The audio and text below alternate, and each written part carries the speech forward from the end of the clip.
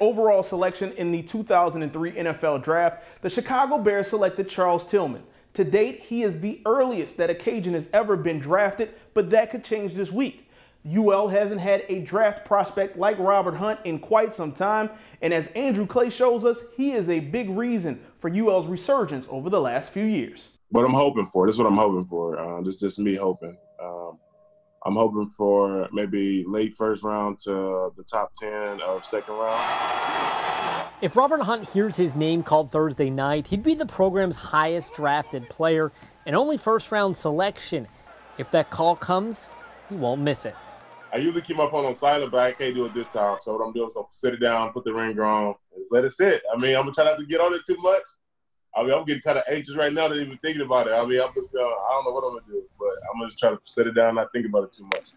Many scouts grade Hunt as a second round player, but his NFL career has not always been a sure thing. Despite being a four year starter in Hunt's eyes, he underperformed at times. It definitely wasn't always great. You know, my first couple years, I wanted to be really good. I expected to be really good. I wasn't. I mean, I, I knew I knew I wanted to play, so you know, I knew um, this is what I wanted to do.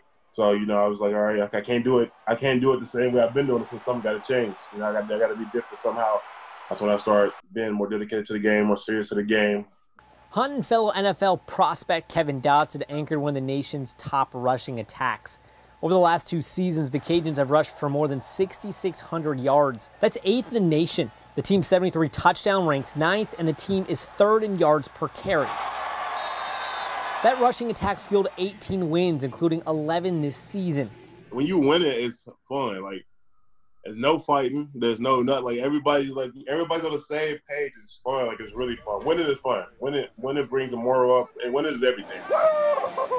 Yes, sir. Hunt missed time late in the season with a groin injury. He had off-season surgery, but says he feels 100%. For KATC Sports, I'm Andrew Clay.